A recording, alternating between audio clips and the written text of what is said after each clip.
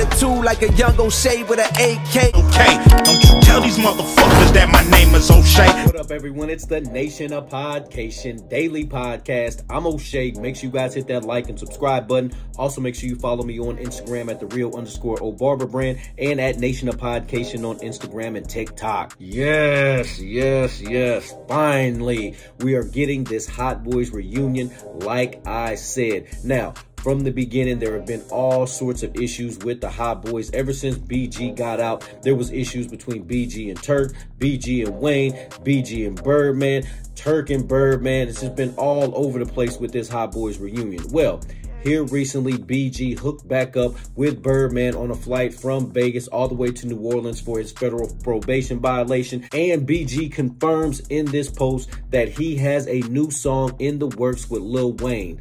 Wow, finally, after all this time, we are going to get this Hot Boys reunion.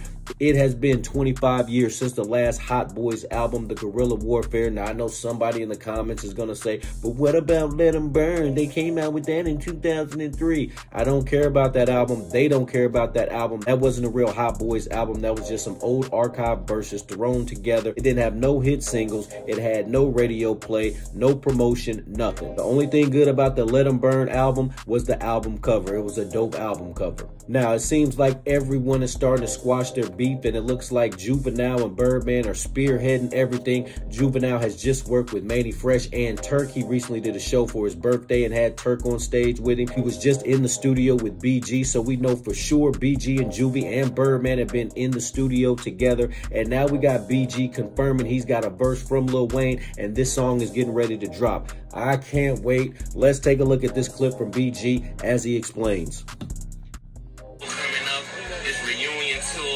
Definitely on the way. You heard me?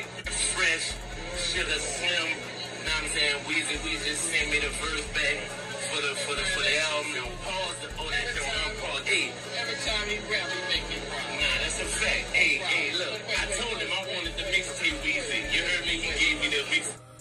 All right, so there you have it. You got BG confirming he has a verse on the way from Lil Wayne. He said he doesn't want new Weezy. He wants mixtape Weezy, just like everybody wants Gold Grill Jizzle back on the track together. So, wow, I just can't wait to see what these two come up with. I can't wait to see the full reunion where we get Juvie, Turk, Wayne, BG, Birdman, and Mannie Fresh all on stage together one more time. Like I said, this summer of 2024 is going to be a really big summer, especially for New Orleans rap. And it looks like the Super Bowl, the next Super Bowl is going to be in New Orleans. So what a better way to set all of this up with a Hot Boys reunion to lead that into the Super Bowl so we can get all of them possibly on stage at the Super Bowl because they're trying to figure out who's going to headline. If you're going to do a Super Bowl in New Orleans, there's only one person that can headline that, and that is Lil Wayne, period. I don't want to hear nobody else. Don't want to see nobody else. It's his hometown. He's a sports fan. He's ready to go for it. He says he's all in on it. It'd be an ultimate honor. It would be nice to see Birdman, the Hot Boys out there.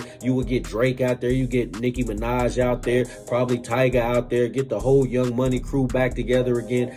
I'm looking forward to this summer. Nation, what do you think about BG's comments on having a verse from Lil Wayne? What do you think about the Hot Boys reunion in 2024? Are you here for it? Do you want to see an album? Do you want to see the tour? Do you want to see a couple of songs? What do you want to see out of this Hot Boys reunion? Nation, let me know in the comment section down below. Make sure you guys hit that like and subscribe button on your way out.